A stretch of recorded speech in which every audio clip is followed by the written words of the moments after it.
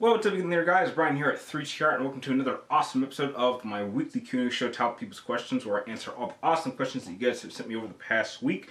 Just before I begin with this very basic set of questions from all regulars, I would just like to let you know that if you actually did send in a second or third question, be sure to check the comments in the previous video to see if I've answered them there since I'm only answering one question per person. And jumping right into the first question coming from Matthew Vader, and you want to know, what is my favorite quote from a DC or Marvel superhero? Uh, I guess Batman when he says, I'm Batman. Not sure if that's a quote, but, you know, I hear so many people use it, so I guess I'll go with that. Next question comes from Santiago Scarpino, and you want to know, if I could rank the God of War games, how would I do it?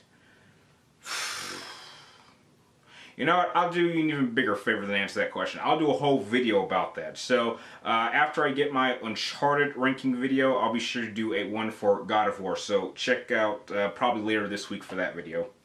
Next question comes from Gush Monster. Hope I say that right because I'm also very uncomfortable with saying that at times. And you want to know what mic and editing software do I use? Well, in terms of the mic that I use, I uh, when I do my uh, versus matchups, when I do my game reviews, I use a blue snowball microphone, uh, the USB type. Uh, in terms of editing software, I actually use Sony Vegas Pro Student Movie Studio, I believe it's called. Hang on, I know I got it here somewhere. It's uh, it's, I don't know, it's around here somewhere. It's a box. But that's pretty much what I use. I pretty much use a Sony Vegas uh, Platinum Edition. So those are the two things I use. Next question comes from Ace Arcade, and you want to know, do I plan on getting the PlayStation 4.5 or PlayStation Neo? Not really. I mean, I pretty much compare this to what the Slim was. I mean, okay, so it's a slightly more powerful system than the PlayStation 4. Heck, I got three PlayStation 4s. They all work fine, uh, so unless they start making games exclusively for it, which I think would be stupid at this point, I see no reason to buy a uh, PlayStation 4.5 or PlayStation Neo. Next question comes from Dr. Hino419. You want to know, if I were a god, what would I do? Solve world hunger, I guess. I don't know. Next question comes from Glenn Gashard, and you want to know, do I have any tips for beating Colonel Volgin? Are you serious? You're, you're, you're having trouble with Volgin. Buddy, you if if you've just gotten to Volgin, you've beaten at least four different bosses that are way harder than him. But if you really need help, here's, here's the trick. If you have a shotgun or a heavy powered machine gun, this is what you do. First you shoot at him to get a shield up, and then when he starts to do his electricity thing, just detach the gun because it only attracts to you if you're carrying a metal weapon. And then when he does that, when he's burnt all of his energy, he has to run over to a little power charger and then when he's not looking, you shoot him in the back. If you have a shotgun, you only do that like three or four times and trust me, he goes down pretty fast. So wow, I mean, if you think Volgin's hard, wow, I can't wait to see how you handle the boss. Next question comes from Phil Chuck Marks, and you want to know, did I ever get a chance to play the Nightmare scene in minigame in Metal Gear Solid called Guy Savage? Uh, no, I was not actually aware of that. Um, maybe when I get time I'll look that up on YouTube, but uh, I, I, wasn't, I, I wasn't aware there was a minigame like that, so no. The next question comes from JDS Forcing Science 16. He wants to know, did I like the trailer for the up-and-coming Assassin's Creed movie? I mean, it's a trailer. It looks harmless. It looks like it'll be okay. I mean, all, all I ask is this. The Assassin's Creed games have gotten so convoluted that they're almost impossible to follow and connect.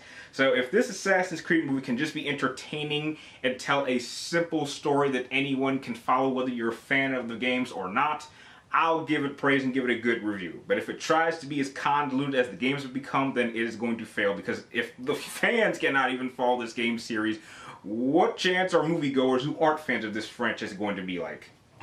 The next question comes from Karen Kenobi, and you want to know, if I wanted to pick between two comic book series to become films, what would I choose? The Old Man Logan series or The Dark Knight Returns? Uh, well, Karen, uh, technically speaking, uh, we've already, we're doing both of those right now.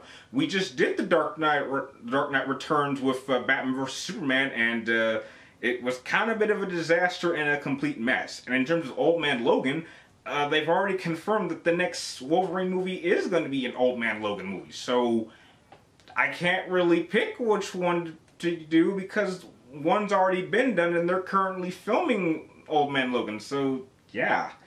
And the last question of the episode comes from K Carrot, and you want to know should Lucas have kept the Force a mystery? Okay, so you're talking about the whole midi-chlorian thing. I actually didn't mind uh, that they explained the Force in a logical sense. A lot of people really hated that. But I think it makes sense if you understand exactly how certain people can use the Force and why certain people can't. For those of you who don't know, just a quick explanation. Midi-chlorians are pretty much, you could say, the IQ of any living being, which pretty much allows you to be either a force user or, or force sensitive or not. If you have enough midi-chlorians in your system, then you can actually sense the force. If not, then you can't. And depending on how high your midi-chlorian count is, it kind of determines what type of Jedi you can be or what is best for you or what your training should be.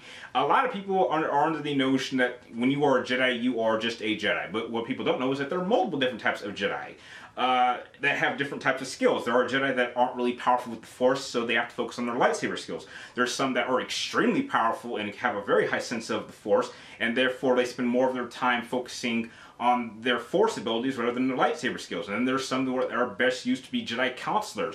There are some that are best to be seers who can actually see the Force and see the future. So the type of midi-chlorian count that you have helps determine what type of Jedi that is best for you to be. And that's why I was never angry with the explanation. And if you read the Darth Plagueis book, which is an incredible book, I, I absolutely imply you read it, uh, that goes very much into depth in the importance of what the midi-chlorian's purpose in the Force actually is. So, uh, no, I was actually quite happy that uh, George Lucas went out of his way to bring a logical sense to the Force itself. I, I personally don't mind.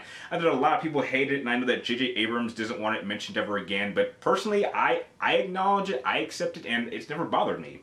And with that, those are all the questions that you have all sent me this time. I'd like to thank all of you guys for making this episode possible. If you guys have any more questions that you'd like me to answer in the next episode, be sure to type them in the comments down below. Make sure you keep it only one question per person. And like always, I'd like to thank you guys for watching. You're awesome, and I will see you next time.